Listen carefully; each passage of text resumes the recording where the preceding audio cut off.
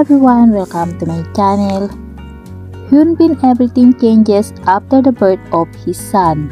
The feeling of completion.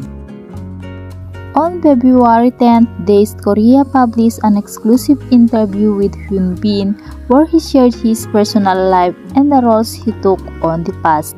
Most notably, details about his family with Son Ye-jin gained the most spotlight. Accordingly, Hyun Bin talked about the recent changes that he had experienced. With the recent change, everything has changed. I started to see things I could not see before. I also think more and be more careful. I'm happy with my family.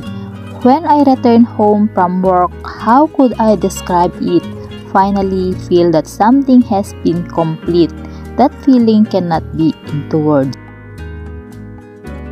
While the actor did not specify a particular milestone, the audience believed that Hyunbin started experiencing these changes when he had his firstborn son. Also from his words, readers and viewers could feel vividly his strong love for Son Ye-jin. Hyunbin also gained attention from his continuous love for his family over the years. No matter where he is or what he doing, the actor always wants to praise his family.